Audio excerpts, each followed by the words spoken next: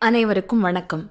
இன்னொரு நன்றி பதிவில் உங்களை சந்திக்கிறதுல எனக்கு ரொம்ப சந்தோஷம். இந்த நன்றி பதிவிலையும் கதையோசை டாட் காம் இணையதளம் மூலமாக எனக்கு நன்கொடை அளித்து ஊக்கமளித்து வருபவர்களின் பெயர்களை படித்து என்னுடைய மனமார்ந்த நன்றிகளை நான் ஒவ்வொருவரிடமும் நேரிடையாக தெரிவித்துக் கொள்ளும் ஒரு வாய்ப்பாக கருதுகிறேன். அது மட்டும் இல்லாமல் இந்த பதிவில் சில விஷயங்களை உங்கள் கூட நான் வந்து பகிர்ந்துக்கணும்னு நினைக்கிறேன். முதல்ல யூடியூப்ல கமெண்ட்ஸ் ஆகவும் ஃபேஸ்புக்கில் மெசேஜஸ் ஆகவும் ஃபேஸ்புக் போஸ்ட்ல கமெண்ட்ஸ் ஆகவும் உங்களோட கருத்துக்களை நீங்கள் தெரிவிக்கிறதுக்கு ரொம்ப ரொம்ப நன்றி. அதில் சில கருத்துக்கள் அடிக்கடி வர கருத்துக்களாக இருக்குது அதை பற்றி தான் நான் இங்கே இப்போ பேசணும்னு விருப்பப்படுறேன்.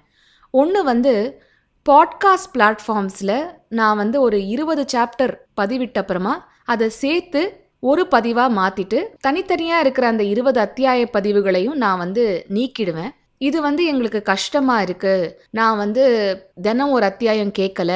ஒரு அத்தியாயம் கேட்டுக்கிட்டு இருக்கும்போது பதினஞ்சில் இருக்கேன். ஆனால் நீங்கள் வந்து இருபதை சேர்த்து போட்டுட்டு பதினாறு பதினேழு பதினெட்டு பத்தொம்போது இருபதை நீக்கிடுறீங்க. இது எனக்கு ரொம்ப சிரமமாக இருக்குது அப்படின்னு சில பேர் சொல்லியிருக்கீங்க. இதில் வந்து ரெண்டு விஷயம். ஒன்று யூடியூப்பில் தனித்தனி அத்தியாயங்களாக பதிவுகள் அப்படியே இருக்கும். அதனால நீங்கள் அங்கே போய் வந்து நீங்கள் விட்டு போன அத்தியாயங்களை தனித்தனியாக அங்கே கேட்டுக்கலாம். ரெண்டாவது இதை நான் ஏன் பாட்காஸ்ட் பிளாட்ஃபார்மில் பண்ணுறேன் அப்படின்னா யூடியூப்பில் பிளேலிஸ்ட் நம்மளால் க்ரியேட் பண்ண முடியும். ஆனால் ஸ்பாட்டிஃபை இல்லைன்னா ஆப்பிள் பாட்காஸ்ட் இந்த மாதிரி பாட்காஸ்ட் பிளாட்ஃபார்ம்களில் நம்மளால் வந்து பிளேலிஸ்ட் மாதிரி எதுவும் க்ரியேட் பண்ண முடியாது. அதனால என்ன ஆகுது அப்படின்னா முன்னாடி இப்போ கதையோசை ஆரம்பித்து ரெண்டு வருஷம் ஆயிடுச்சு. ரெண்டு வருஷத்துக்கு முன்னாடி போட்ட பதிவுகள்லாம் ரொம்ப அடியில் போயிடுது. நிறைய ஸ்க்ரால் பண்ணால் மட்டும்தான் அதை வந்து கண்டுபிடிச்சி கேட்க முடியும். இதனால பழைய அத்தியாயங்கள் பழைய கதைகள் அது வந்து விடுபட்டு போயிடக்கூடாது. புதுசாக கதையோசையை தேடி வரவங்க அதையும் கேட்கணும் அப்படிங்கிற ஒரு காரணத்துக்காக தான் இருபது அத்தியாயங்களை ஒன்றா சேர்த்து நான் பதிவிட்டுட்டு வரேன். அதனால பாட்காஸ்ட் பிளாட்ஃபார்மில் உங்களால் வந்து அத்தியாயங்களை தினந்தோறும் கேட்க முடியல. ஏதாவது ஒரு அத்தியாயம் விடுபட்டு போயிடுச்சு அப்படின்னா அதை நீங்கள் யூடியூப்பில் கேட்டுக்கலாம். யூடியூப்பை மினிமைஸ் பண்ண முடியாது. அது ஒரு பிரச்சனைங்கிறதும் எனக்கு புரியுது.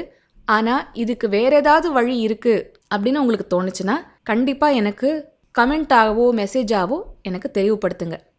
அடுத்தது ஒரு சில அத்தியாயங்கள் எட்டு நிமிஷம் இருக்குது ஒரு சில அத்தியாயங்கள் இருபது நிமிஷம் இருக்குது சில அத்தியாயங்கள் பன்னெண்டு நிமிஷம் இருக்குது இந்த மாதிரி வந்து ஒரு ஒரு அத்தியாயம் ஒரு ஒரு நீளத்தில் இருக்குது அதனால நீங்கள் எப்படியாவது ரெண்டு அத்தியாயத்தை சேர்த்து இருபது நிமிஷமாவோ இல்லை மூணு அத்தியாயங்களை சேர்த்து ஒரு முப்பது நிமிஷமாவோ இந்த மாதிரி போட்டிங்கன்னா கேட்குறதுக்கு எனக்கு நல்லா இருக்கும் அப்படின்னு உங்களில் பல பேர் வந்து கருத்து தெரிவிச்சிருக்கீங்க.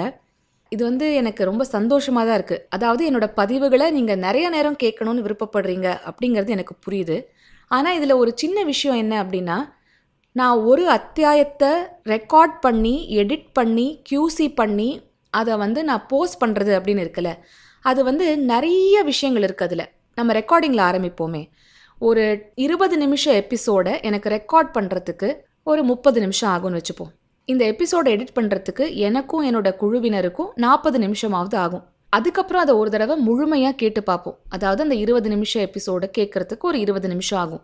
அதில் ஏதாவது தப்பு பண்ணியிருந்தாலோ சரியாக படிக்காமல் இருந்திருந்தாலோ மாடுலேஷன் கரெக்டாக அமையலைனாலோ மறுபடியும் ரெக்கார்ட் பண்ணுவேன். அதுக்கு ஒரு பதினஞ்சு நிமிஷம் வச்சுக்கோங்களேன். இப்போ கணக்கு பண்ணி பார்த்தா ஒரு இருபது நிமிஷம் எபிசோடை நான் வந்து முடிக்கிறதுக்கு முப்பது ப்ளஸ் நாற்பது ப்ளஸ் இருபது ப்ளஸ் ஒரு பதினஞ்சு.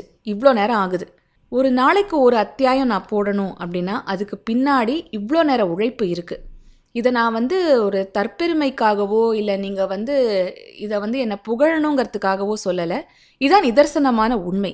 அதனால ஒரு அத்தியாயத்துக்கு மேலே ஒரு நாள் வெளியிடுறதுங்கிறது நடைமுறைக்கு கொஞ்சம் கஷ்டமான விஷயம். அதனால தான் வந்து ஒரு நாளைக்கு ஒரு அத்தியாயம் வீதம் நாங்கள் வெளியிட்டுட்டு வரோம். இன்னொரு விஷயம் சுஜாதாவோடது படிங்க ஜெயகாந்தனோடது படிங்க இல்லை சாண்டிலியனோடது படிங்க இந்த மாதிரி பல பேர் வந்து என்னை கேட்குறீங்க அதுக்கும் ஒரு ஒரு பதில் இந்த பதிவில் நான் கொடுக்கணும்னு விருப்பப்படுறேன்.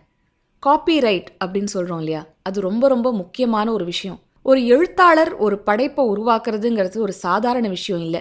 அது ஒரு சிறுகதையாக இருந்தாலும் சரி குறு நாவலாக இருந்தாலும் சரி இல்லை ஒரு முழுநீள நாவலாகவே இருந்தாலும் அந்த எழுத்தாளரோட உழைப்பை நம்ம வந்து மதிக்கணும். அதனால எழுத்தாளரோட சம்மதம் இல்லாமல் நான் வந்து கதை ஓசையில் எந்த கதையையும் பண்ண மாட்டேன் அப்படிங்கிறதுல ரொம்ப தெளிவாக இருக்கேன். எழுத்தாளருக்கு தெரியாமல் எழுத்தாளரோட சம்மதம் இல்லாமல் கதை பதிவிடுறதுங்கிறது அவங்களோட எழுத்தை ஒரு விதத்தில் திருடுற மாதிரி அப்படிங்கிறது என்னோட ஒரு தாழ்மையான கருத்து. அப்போது நீங்கள் ஒரு கோகுல் சேஷாத்ரி கதை போட்டிங்களே வித்யா சுப்பிரமணியம் கதை போட்டிங்களே ஜெயமோகன் கதை போட்டிங்களே அப்படின்னா அதெல்லாம் அந்த எழுத்தாளர்கிட்ட முறையாக சம்மதம் வாங்கிக்கிட்டு அப்புறம் தான் பண்ணது.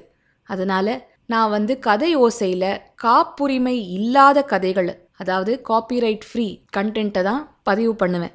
இல்லைன்னா எழுத்தாளர்கள் அதுக்கான சம்மதத்தை தெரிவிச்சிருந்தாங்கன்னா அந்த மாதிரி கதைகளையும் நான் வந்து பதிவிடுவேன். காப்புரிமை இல்லாத கதைகளே அவ்வளோ இருக்குது ஒரு சமயம் நினச்சி பார்த்தா காப்புரிமை இல்லாத நல்ல கதைகளை பதிவிட்டாலே ஒரு வாழ்நாள் போதாது அப்படின்னு தோணுது. அதனால கதை ஓசையில் காப்புரிமை அப்படிங்கிற விஷயத்துக்கு நான் ரொம்ப ரொம்ப முக்கியத்துவம் கொடுக்குறேன். அடுத்ததா ஒரு வேண்டுகோள். நிறைய பேர் கதை ஓசையை இப்போ தான் நான் வந்து தெரிஞ்சுக்கிறேன். இதுக்கு முன்னாடி பொன்னியின் செல்வனை நான் வேறு சில இடங்களில் கேட்டேன்.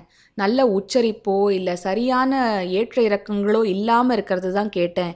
இப்போ உங்களத கேட்குறேன் எனக்கு ரொம்ப மகிழ்ச்சியாக இருக்குன்னு நிறைய பேர் எனக்கு வந்து வாழ்த்துக்களை தெரிவிக்கிறாங்க. ஃபேஸ்புக் மெசேஜஸ்லேயும் யூடியூப்லேயும் என்னோட ஒரு சின்ன வேண்டுகோள் என்னென்னா கதை ஓசையை நீங்கள் அடிக்கடி கேட்குறவங்களா இருந்தால் இந்த பதிவை கேட்டுக்கிட்டு இருக்கீங்கன்னா தமிழ் தெரிஞ்ச உங்கள் நண்பர்கள்கிட்டேயும் உறவினர்கள்கிட்டேயும் கண்டிப்பாக கதையோசையை பற்றி பகிர்ந்துக்கங்க. நல்ல உச்சரிப்பில் சரியான ஏற்ற இறக்கங்களோட மிகச்சிறந்த கதைகளை மக்களுக்கு எடுத்துட்டு போகணும் அப்படிங்கிற ஒரு நோக்கத்தில் ஆரம்பிச்சது தான் கதையோசை இப்போது எப்பவும் போல கதையோசை டாட் காம் இணையதளம் மூலமாக நன்கொடை அளித்தவர்களின் பெயர் பட்டியல் இதோ. Kannappan Arunachalam Ponmuthu Subramanian பவிதீரே Ganesan maths A to Z Lakshmikanthan Ayyakkan Saritha Ganesan Ilanchezhiyan Muthukrishnan Amrutha Indupriya J Rajagopalan Sushmi Pratiksha Murali Krishna Sundareswaran Selvamani Vishnu Anukumar Jagadeesan Anantha Padmanabhan Sriram Rajadurai. உங்கள் அனைவருக்கும் என் மனமார்ந்த நன்றிகள். கதையோசையை கேட்குற ஒவ்வொருத்தருக்கும் என் மனமார்ந்த நன்றிகள். ரெண்டு வருஷம் தாண்டி கதை யோசை இன்னைக்கு இந்த நிலைமையில இருக்கு அப்படின்னா அதுக்கு காரணம் உங்க ஒவ்வொருத்தரோட அன்பும் ஆதரவும் தான்.